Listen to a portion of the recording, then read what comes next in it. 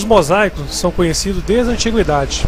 A origem da palavra mosaico vem do termo grego mosaico, que significa musa. Algumas obras em mosaicos foram originadas na Mesopotâmia pelos sumérios, datadas em 3 mil anos antes de Cristo. Os motivos eram geométricos e revelavam inspiração na arte da tapeçaria.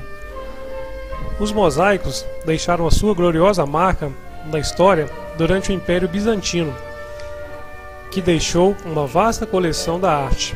Em todo o Império, os bizantinos faziam suas devoções e os mosaicos eram feitos principalmente em igrejas e templos, adornando paredes e abóbadas. Essas obras relatavam em sua arte personagens e acontecimentos bíblicos. Cabia aos artistas a realização em suas obras instantaneamente identificáveis por todos os observadores. Estão em todas as partes. A partir do momento em que o aluno estuda e conhece os mosaicos, ele passa a prestar mais atenção nas formas geométricas que estão em seu redor, ou seja, em ruas, praças, paredes, obras de artes e etc. Desde os tempos remotos, que superfícies planas, paredes ou solos, têm sido pavimentadas com formas geométricas repetidas.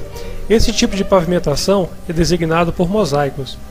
Uma pavimentação do plano é um conjunto de figuras planas, não sobrepostas e que o reveste sem deixar espaços intermédios entre as figuras.